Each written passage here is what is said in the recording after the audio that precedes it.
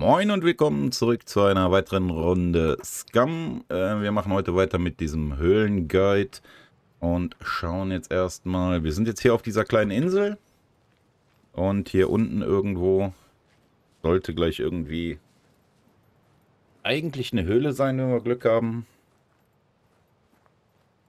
Deshalb schaue ich jetzt einfach mal hier. So. Aber ich denke mal... Äh, dass wir wahrscheinlich in der Höhle auch wieder, dass es auch wieder eine Unterwasserhöhle sein wird.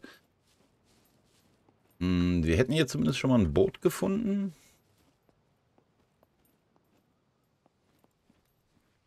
Ihn nicht trinken. Ich steige jetzt einfach mal hier ein. Ähm, bevor wir gleich mit dem Ding kentern, packe ich doch einfach erstmal alles hier rein, was geht. Das passt noch hier rein. Das würde passen. Die Hose passt. Sehr schön. Ähm, der Baseballschläger vielleicht. Ja, der passt auch noch. Sehr schön. Dann müssen wir halt die Armbrust drauf lassen. Und den Rest nehmen wir einfach so mit. Naja, egal. So, dann machen wir mal fahren. Ähm,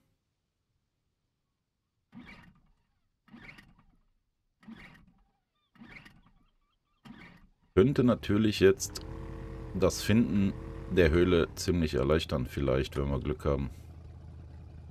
Vielleicht aber auch nicht.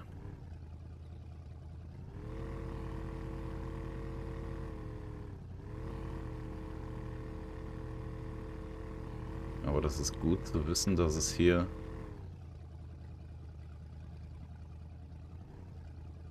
einen Bootsspawn gibt.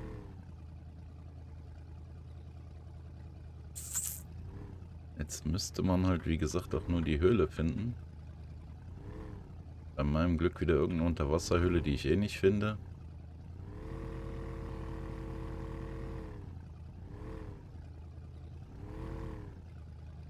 Ah, ne, hier sind wir definitiv falsch. Die soll eigentlich,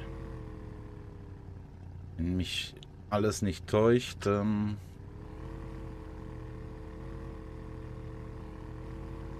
eigentlich da vorne irgendwo sein.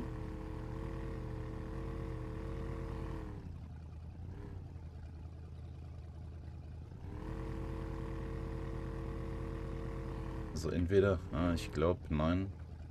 Oder doch, nee. Nein, sieht nicht so aus, als wenn sie da gewesen wäre. Ähm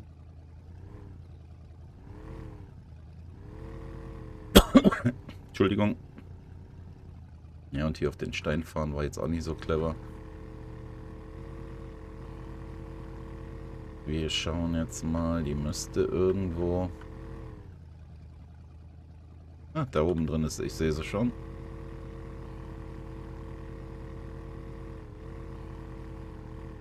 So. Uiuiui. Ui, ui. So. Also ihr habt dann hier auf jeden Fall die Möglichkeit oder auch nicht die Möglichkeit zu looten. Irgendwie.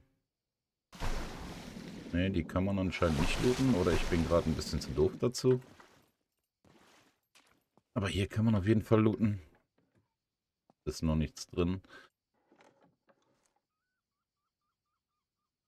Ein Kronkorken oder Weinkorken, den man zum äh, Schwimmer machen kann für eine Angel. Naja, was mich so ein bisschen stört hier in dem Singleplayer-Game ist eigentlich immer noch, dass man hier die Droprate und so nicht verändern kann. Für Leute, die halt wirklich gerade mit Scam anfangen und ähm, ja, vielleicht erstmal Singleplayer spielen möchten, so wie ich das auch gemacht habe. Wäre es vielleicht gar nicht mal so verkehrt, wenn man ähm, auch im Singleplayer so ein bisschen die Droprate anpassen könnte oder erhöhen könnte oder was auch immer. Weil, wie gesagt, hier so Kisten durchsuchen ist eigentlich immer frustrierend, weil meistens nichts drin ist. Aber wie ihr seht, das hier ist eigentlich eine ziemlich große Höhle. Hier könnt ihr definitiv eine Base drin bauen. Ist halt immer nur das Problem, ihr seid hier auf dieser kleinen Insel. Hm. Ja, und wenn ihr natürlich kein Boot oder sonst was zur Verfügung habt, müsst ihr halt immer schwimmen was vielleicht auch nicht so wirklich toll ist. Aber solltet ihr ein Boot zur Verfügung haben, gibt es hier diese super geile Höhle. Und Uhr. Na, ich bin zu dumm rauszukommen sogar. Das ist mal ernsthaft. Doch, jetzt kommt man hier raus. So, also es gibt hier diese super tolle Höhle, wo man definitiv, ähm, ja, sich eine Base bauen kann. Und, ähm, wie gesagt, das ist die zweite von den drei Höhlen im Z0-Sektor. Die nächste oder die letzte gucken wir uns dann in der nächsten Folge an. Ähm, ja, wie gesagt, hier oben ist auch ein Leuchtturm, den man dann looten kann. Wo man sich vielleicht auch eine Base hinbauen kann oder reinbauen kann oder drumherum bauen kann. Ähm, und vielleicht einfach da unten in der Höhle sein Außenlager reinbaut oder so. Müsstet ihr dann mal gucken, halt, ich sollte vielleicht auch meinen Loot aus dem Boot mitnehmen.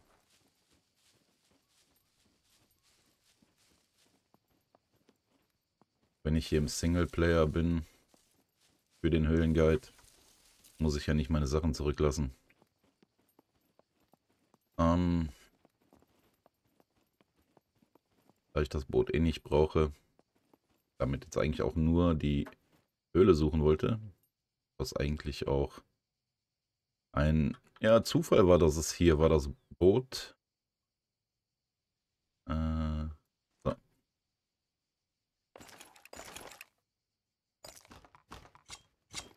Aber das heißt definitiv, dass da irgendwo hier vorne an dem Leuchtturm auch ein Boot spawnt. Ähm, ja, weil ich habe das Boot da nicht gespawnt. Ich habe auch irgendwie, bin nicht mit dem Boot hier hingefahren, weil ich teleportiere mich hier im Singleplayer eigentlich von einer Höhle zur anderen. Also wie gesagt, man kann sich die Höhle entweder als Base zubauen oder ihr nehmt einfach hier oben den Leuchtturm. Hm, was auch eigentlich super machbar ist. Ihr habt hier zum Beispiel auch schon Steinmauern drum.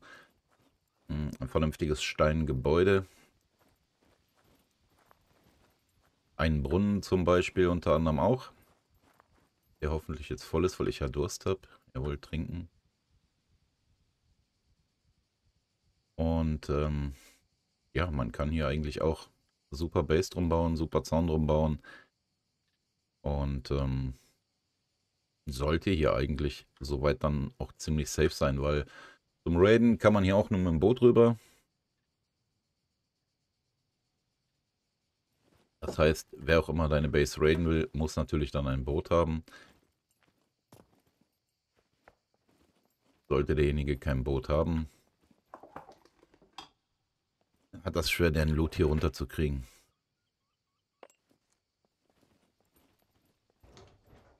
Ja, ansonsten gibt es hier, glaube ich, nicht mehr viel zu sagen. Äh, Essen, gut. Ähm, außer, ja, wenn es euch gefallen hat, lasst mir gerne einen Daumen da. Wenn ihr keine weiteren Folgen verpassen wollt, wie immer, lasst mir gerne auch ein Abo da. Und ähm, ihr werdet dann darüber informiert, wenn der nächste Guide rauskommt mit der nächsten Höhle.